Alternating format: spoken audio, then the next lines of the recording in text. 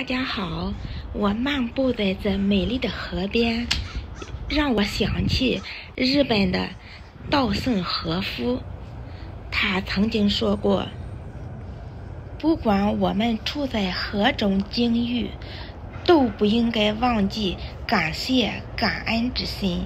不仅要向自己周围的人表示感谢，也要向社会和自然表达感谢。”拥有这种美好的心灵至关重要，你的人生就一定有美好的未来。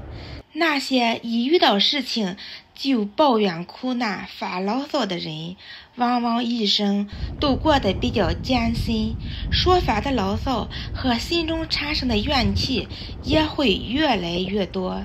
这些牢骚和种种的不满、怨恨。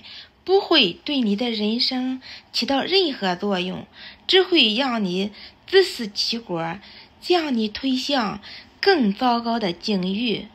所以，我们每天漫步在这美好的大自然中，应该感到幸福和享受，放平自己心态，不与天斗，不和人争。